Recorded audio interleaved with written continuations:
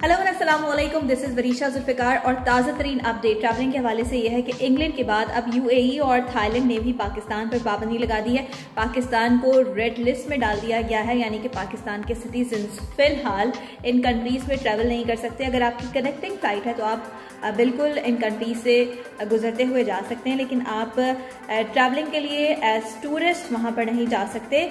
और ये पाबंदी कब तक आयद की गई है, इस बारे में अभी तक कुछ नहीं बताया गया है। ऑन दी अदर हैंड अगर मैं टर्की की बात करूँ, जहाँ पर 17 मई तक लॉकडाउन लगाया गया था और अब 17 मई करीब ही आने वाला है तो अब देखना यह है कि इस लॉकडाउन को मजीद एक्सटेंड किया जाता है या फिर कुछ नरमी की जाती है। लेकिन टूरिस्ट के हवाले से मैं आपको ये बता दूँ कि वो टूरिस्ट जो टर्की जाना चाह रहे हैं उनके लिए मेरे पास खबर ये है कि वो बिल्कुल टर्की जा सकते हैं, टर्की में लॉकडाउन है बट टूरिस्ट के लिए अभी वहाँ पर कोई इस तरह की सख्तियाँ नहीं हैं। सम प्लेसेस ऐसी हैं, कुछ प्लेसेस ऐसी हैं जहाँ पर आप डाइन इन भी कर सकते हैं। इंटरसिटी ट्रैवलिंग के हवाले से मैंने आपको बताया था कि जो वहाँ पर सिटीजन्स हैं, उनको इंटरसिटी ट्रैवलिंग के लिए परमिशन लेनी पड़ेगी बट वो सिटीजन्स जो पाकिस्तान से जा रहे हैं या किसी और कंट्री से वहाँ पर घूमने फिरने के गर्ज से जा रहे हैं, वहाँ पर टूरिस्ट एज टूरिस्ट जा रहे हैं, उनको बगैर किसी परमिशन के इंटरसिटी ट्रांसपोर्ट यूज़ करने की इजाज़त है लेकिन इंटरसिटी ट्रांसपोर्ट दिन के वक्त चल रही है रात के वक्त नहीं चल रही। बहुत सारी प्लेसेस आपको बंद मिलेंगी और बहुत सारी प्लेसेस ऐसी हैं जहाँ पर जाने से पहले आपको ऑनलाइन बुकिंग करवानी पड़ेगी। आ, लेकिन अगर आप घूमना चाहते हैं और आपका बहुत दिल है कि आपको आउटिंग करनी है तो आप जा सकते हैं।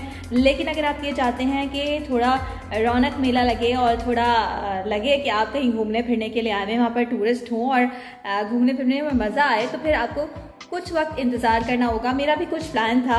मेरी बकेट लिस्ट में बहुत कुछ है ट्रैवल करने के लिए, घूमने फिरने के लिए, लेकिन अभी मैंने फ़िलहाल अपने सारे प्लान्स को पॉज कर दिया है। जैसे जैसे कोरोना की सिचुएशन बेहतर होती जाएगी वैसे वैसे इन ट्रैवलिंग से लेकर तमाम तर जो मामला हैं, वो नॉर्मल हो जाएँगे, ज़िंदगी नॉर्मल हो जाएगी। तो उसके बाद ट्रैवलिंग के बारे में सोचेंगे। लेकिन इन मेरा प्लान यह है कि इस बार न्यू ईयर हमने कहीं करना है। हमेशा की तो बारह मई के बाद अब यूएई ने तमाम तर ट्रैवलर्स पर पाबंदी लगा दी है जो एज टूरिस्ट यूएई जाना चाह रहे थे। अब ये पाबंदी कब तक लगेगी इस बारे में जो भी अपडेट्स होंगी मैं आपको बताऊँगी। मेरे चैनल को लाइक कीजिए सब्सक्राइब कीजिए शेयर कीजिए अपना बहुत ख्याल रखिए। अल्लाह हाफ़